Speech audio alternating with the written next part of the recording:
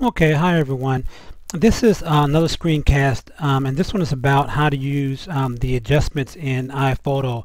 I know a lot of people may not even get their, their photos out of their cameras sometimes and get them into iPhoto but when you do you can really, um, if you take a little bit of time, you really can improve your photos by using the adjustment tools in iPhoto. So I've already opened up a photo um, in iPhoto and, and all you have to do is double click it and it will take you to the um, uh, the the adjustment uh, window. And you click on here the first off we're going to look at uh, cropping this photo this, this is okay as it is but we could also crop it a little bit. So you click on the crop tool here and basically you can slide it and it gives you like a little grid which you can use to I like to kind of put my photos in one quartile of this grid so if we crop it here and then push the apply button, you see we can see his face a lot, lot better just by cropping it tighter.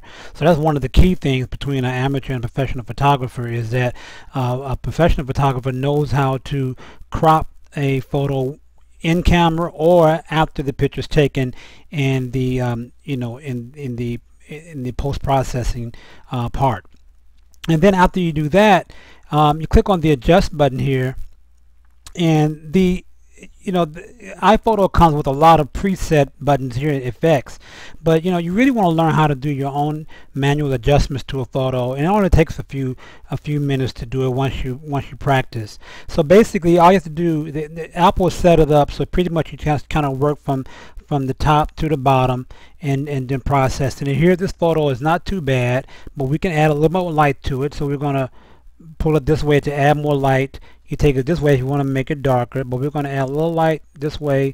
And then we want to make some contrast in the photo. So basically all you have to do is push it this way for a little, little con some some contrast. You see how it changes some there kind of brings in more detail.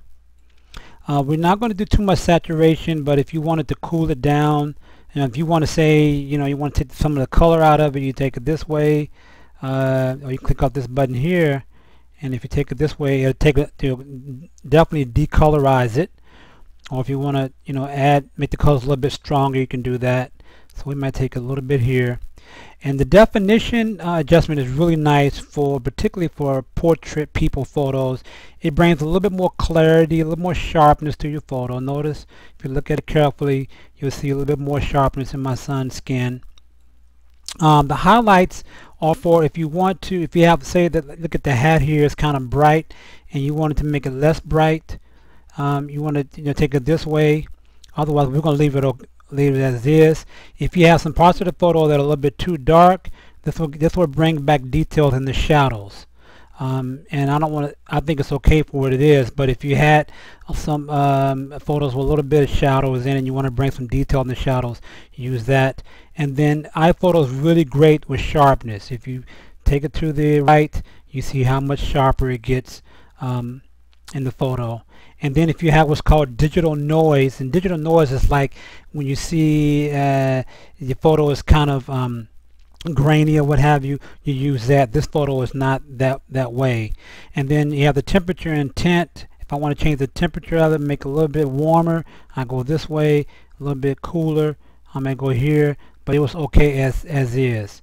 And then the tint, of course, is to do some funky kind of added some colors at the top, but we're going to leave it like it is. Okay, so basically all you have to do, and you can kind of go back and you can work it back and forth in there, and uh, it's, it's really easy to do. And then if you want to you can copy these settings by pushing this button. You can copy them and then apply it to an another photo that was similar photo that was shot in the same lighting conditions.